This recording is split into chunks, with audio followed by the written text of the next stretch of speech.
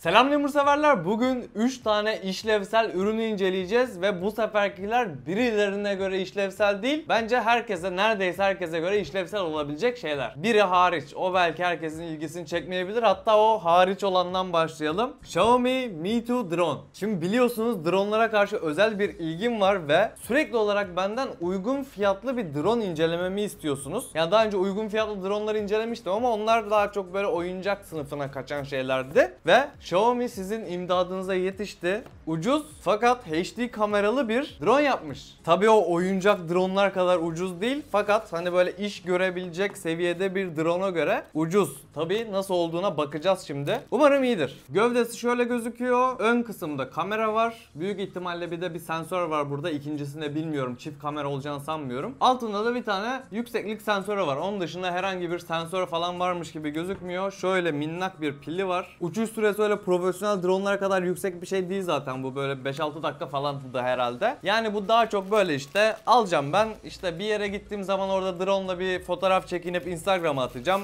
İşte tatile gideceğim orada arkadaşlarıma kumsalın fotoğrafını atıp hava atacağım falan diyen insanlar için düşünülmüş bir drone. Gimbal falan hiçbir şey yok bu arada o yüzden video performansı nasıl olacak onu baya merak ediyorum açıkçası. Herhalde bir dijital imaj sabitlemesi falan bir şey vardır ama gimbalsız havada nasıl olacak onu veya baya merak ediyorum. 6 tane pervane çıkmış. Bu birazcık garip. Normalde hep 8 tane pervane koyarlar çünkü yani 4 pervane 4 de yedek olarak koyarlar. Pervanelerin yarısının üstünde kırmızı nokta var, yarısının üstünde beyaz nokta var. Buradan motorun üstünde kırmızı işaretli olan yerlere kırmızıları, boş olanlara da beyazları takacağız. Kutunun içinde son olarak bir de şarj kablosu var. Onun dışında kutunun içinde herhangi bir şey yok. Kullanım kılavuzu vardır tabii ki ama okumayacağız yani. Telefonuma uygulamasını indirdim. Şurada açma kapama tuşu var. Ona basılı tutuyorum. Altta bir lamba yandı. Herhalde açtık. Alete bağlan. Direkt Wi-Fi'den buldu. Bu arada kumandası yok. Wi-Fi üzerinden telefonunuzla kontrol ediyorsunuz. Kumandasının olmaması çok iyi bir şey değil tabii ki. Sadece Wi-Fi ile bağlandığınız için size 50 metre civarı bir yani bulunduğunuz noktadan 50 metre bu tarafa 50 metre bu tarafa gidebilirsiniz gibi düşünebilirsiniz menziline. Direkt kamera görüntüsü geldi. Çok da kötü gözükmüyor sanki be. Burada uçabilir miyim ya? Uçarım bence uçalım hadi.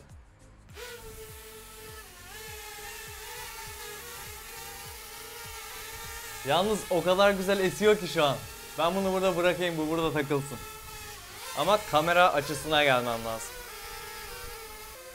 Kontrolü kolay fakat rüzgardan anormal etkileniyor şu an onu fark ettim. Gerçi bayağı esiyor şu an yani. Balkonda şöyle köşe olarak iki cam açık ve tam ikisinin ortasında kaldı.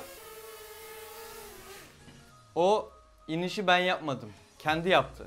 Niye yaptığı konusunda da hiçbir fikrim yok. Neyse bir daha deneyeceğim. Ama şu kamerayı da ayarlayayım da böyle daha net iki taraftan da gösterebileyim size ya. Evet bakalım bu sefer.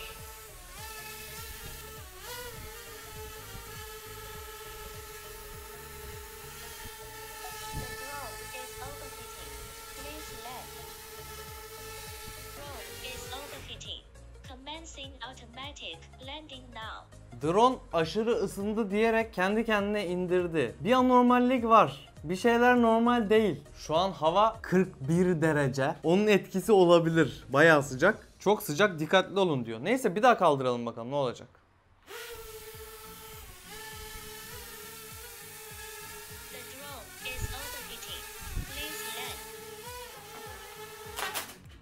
Evet, aşırı ısam ısınmadan dolayı gittiği için acaba şey de mi yok ya? Görüntüleri alabileceğim mi acaba? Bu arada herhalde kendi dahili hafızası var. Oraya kaydediyor diye düşünüyorum. Çünkü ben bir kart falan bir şey takmadım ve bir kart girişi falan göremiyorum. Şu an umarım görüntüleri alabilirim. Ya bu alette bir sıkıntı var ya da burası çok sıcak olduğu için bir böyle bir problem çıkartıyor. Bilmiyorum şu an anlamadım. Şu andaki deneyimimle benden geçer not alamadım maalesef. Halbuki bundan ben bayağı umutluydum. Yani belki bir yazılım güncellemesiyle falan düzeltirler bilemiyorum. DJI'in Tello diye çıkarttığı yeni bir model var. O bundan biraz daha pahalı gerçi ama o da aynı klasmanda. Ondan da sipariş ettim. O geldiği zaman bunların ikisinin böyle bir kıyaslamasını yaparız. Uygun fiyata alınabilecek en iyi drone'u o zaman tespit ederiz. Şu an aa yani bu bu haliyle aa. Videodaki görüntüleri aşırı ısınmadan dolayı alamadığım için size gösterebilmek adına tekrar şöyle bir klip çektim. Görüntüleri işlenmemiş olarak izleyeceksiniz. Bence fiyatına göre görüntü kalitesi hiç fena değil. Fakat gimbal olmadığı için için çok sallanıyor. Onu yani özellikle hareketler sırasında o gimbal'ın eksikliğini çok hissediyorsunuz. Onun dışında yine aşırı ısınma problemi oldu. 3,5 dakika civarı bir kayıt alabildim. 3,5 dakikanın sonunda tekrar aşırı ısınma problemi verdi. O yüzden kaydı kesmek zorunda kaldım. Bir de klimalı ortamda denedim. Klimalı ortamda ise 6,5 dakika civarı bir uçuş süresi elde edebildim. Şu andaki haliyle ben birkaç fotoğraf çekeceğim, Instagram'a atacağım işte böyle 1 dakikalık videolar çekeceğim falan diyenler için ideal olabilir. Fakat bunlar dışındaki tüm senaryolar için şu andaki hali bir güncelleme gelmediği sürece yeterli değil bana kalırsa. Geçelim bir sonraki ürünümüze. Hani banyoda sürekli yaşadığımız bir olay var. Böyle suyun derecesini ayarlama. Böyle bir sıcak oluyor, bir soğuk oluyor. Tam böyle şey yapamıyorsun falan. Bu alet o sorunu çözmeyi hedefleyen bir alet. Banyodaki çeşmenin hortumuna takıyorsunuz. Pili falan yok. Direkt içinden geçen suyla çalışıyor. Onu elektrik enerjisine dönüştürüyor. Ve üzerinde derecesini gösteriyormuş. Şimdi gidip bunu bir test edelim bakalım. Gerçekten iş yapıyor mu? Cihazın montajını yaptım. Şimdi test kısmına geçiyoruz. Ve evet tripodla banyodayım. Çünkü neden olmasın? Montajı fazlasıyla basit. Direkt şu kısmı böyle elle söküyorsunuz. Söktüğünüz yere bunu takıyorsunuz ve tekrar elle sıkıyorsunuz. Yani montajında hiçbir şey yok, zorluk yok. Sonra ekranı buradan kendi şeyinize göre ayarlıyorsunuz. Ben şimdi kameraya göre ayarlayacağım. Normalde böyle yukarı bakar ama herhalde. Su buradan akarken tabii ki derece göstermiyor çünkü sadece buraya bağlıyız yani hortumun olduğu kısma bağlıyız. Yukarı geçirdim ve gördüğünüz gibi ekran direkt geliyor. Şöyle soğuk suyu alalım. Şimdi bir de sıcağı alalım. Soğuk 22 dereceymiş. Şu an suyun en sıcak hali değil. Birazcık daha bekleyeceğim. Evet şu an en sıcak hali gibi duruyor. En sıcak halinde de 47 derece. Tekrar soğuğa alalım. Bayağı hızlı tepki veriyor. Bu güzel bir şey. Bence su tasarrufu için güzel bir alet. Yani böyle çok daha hızlı bir şekilde su yani kendi banyo sıcaklığınızı oradan bulabileceğiniz için güzel bir şey yaptıklarını düşünüyorum diyerekten balkona geri dönüyoruz diyorum. Şu an gitmeyeceğim aslında. Videodan sonra gideceğim o sahneleri çekeceğim ama sizi kandırıyorum. Gitmiş gibi yapacağım. Bir sonraki ürüne geçelim. Şu an bu ürüne o kadar çok ihtiyacım var ki şu an en çok ihtiyacım olan şey bu ürünmüş gibi geliyor bana. Bu bir mini portatif klima.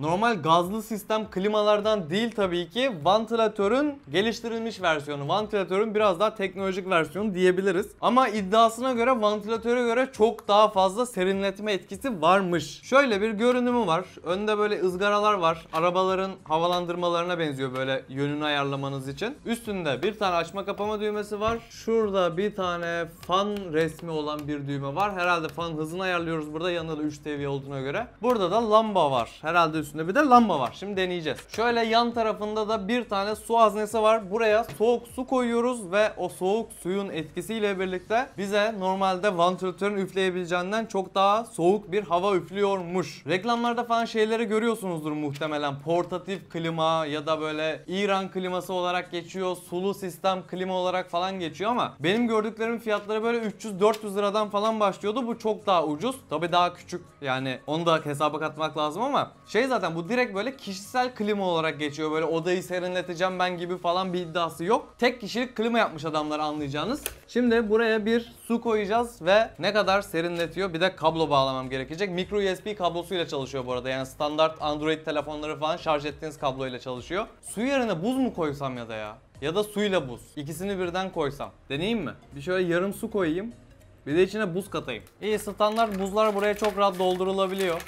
Şimdi kablomuzu takalım. Şu anda vantilatörden daha serin bir şey hissetmiyorum. Oha yavaş yavaş soğuyor. Soğuyor şu an. Oha. Abi bir dakika şu an sistemini anladım gibi.